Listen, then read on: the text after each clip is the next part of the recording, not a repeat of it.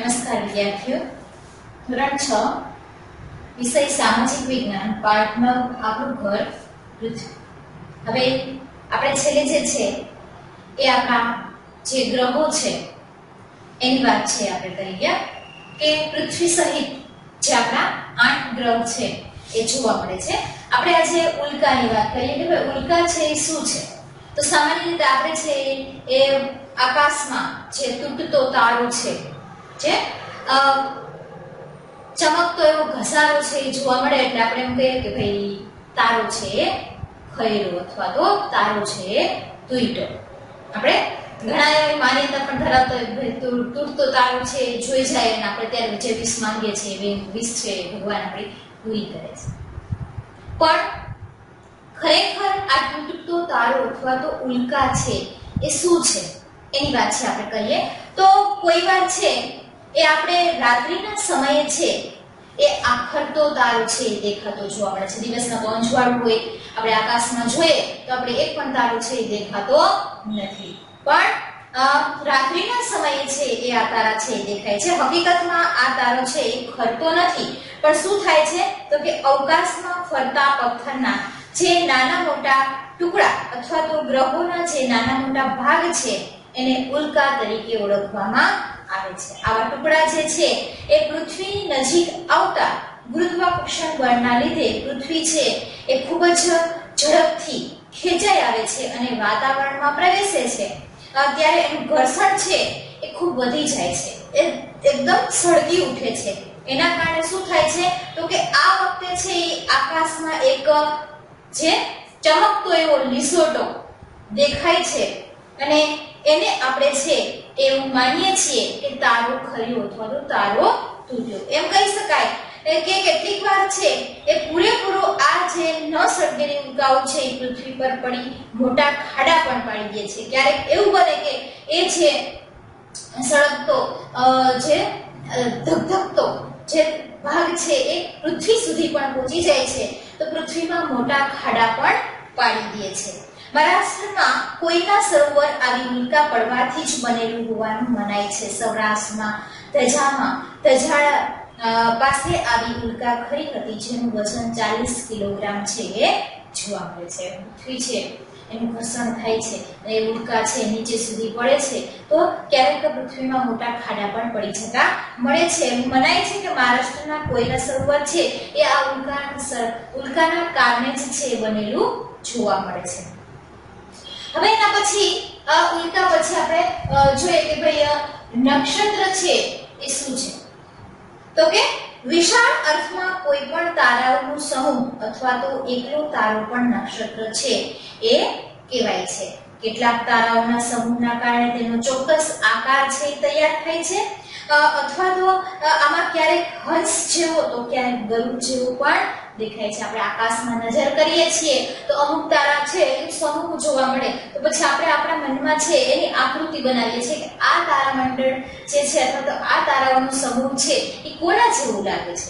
તો અહીંયા પણ એ જ વાત કરવામાં આવી છે કે અશ્વિની, રેવતી, વિશાખા પુનર્વસુ મૃગશીર્ષ રોહિણી, પુષ્પ, આર્યા, સ્વાતિ જેવા મળી અને કુલ સત્યાવીસ નક્ષત્ર છે, જોવા મળે છે નક્ષત્રો છે, કેટલા જોવા મળે છે?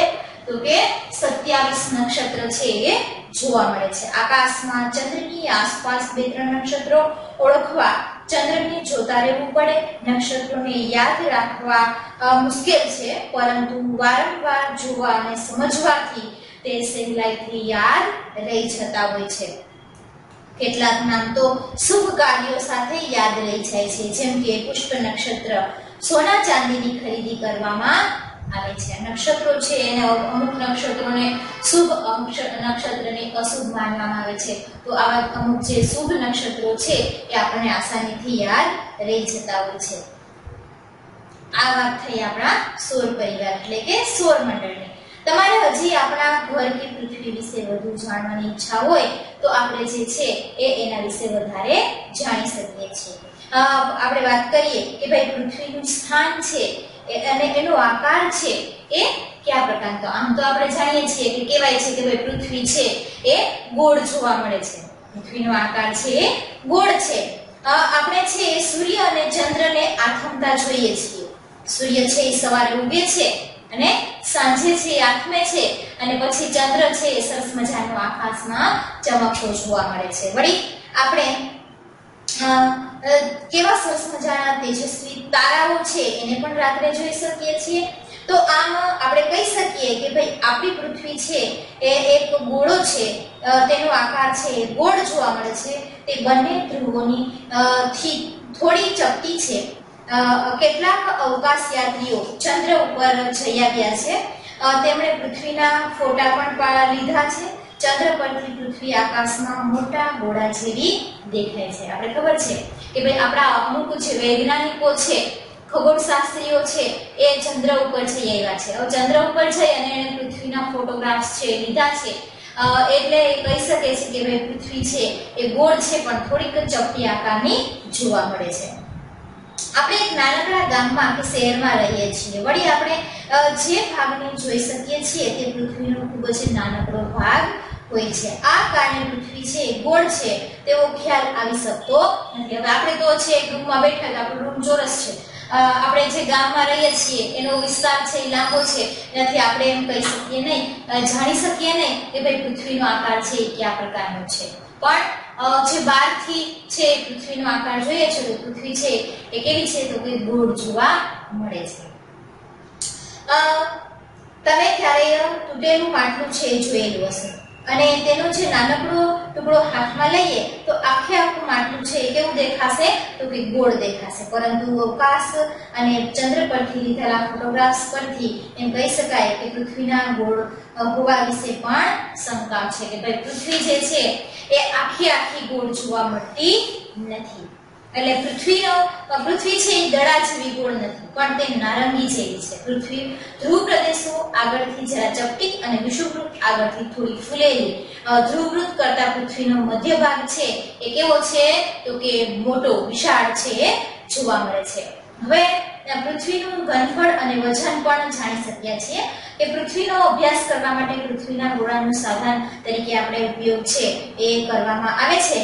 તેની ઉપર છે એ પૃથ્વી દુનિયાનો જે છે કોઈ પણ ભાગ છે આપણે જોઈ શકીએ છીએ. પૃથ્વીના ગોળા પર તમે ઉત્તર ધ્રુવ અને દક્ષિણ ધ્રુવ બતાવી શકશો કે પૃથ્વીના ગોળા પરથી એક તરફ નમેલી છે એ આપણે જાણી શકીએ છીએ. હવે પૃથ્વીનો ગોળો છે, આપણે જોઈએ તો આપણે એની ઉપરથી નક્કી કરી શકીએ કે ભાઈ પૃથ્વી છે, એ ખરેખર ગોળ છે કે કયા પ્રકારની જોવા મળે છે. એ આ પૃથ્વીનો ગોળો છે, એ એના ઉપરથી આપણે નક્કી કરી શકીએ છીએ. એના પછી જે છે એ ધ્રુવનો તારો ધ્રુવનો તારો છે એ શું છે? ચમકતો ઉછળ્યો તારો છે. એમ ઘણા બધા જે તારાઓ છે એ અલગ અલગ જોવા મળે છે. પણ આગળનો અભ્યાસ છે. આપણે આગળના પીરિયડમાં કરશું. આજે છે આપણે છીએ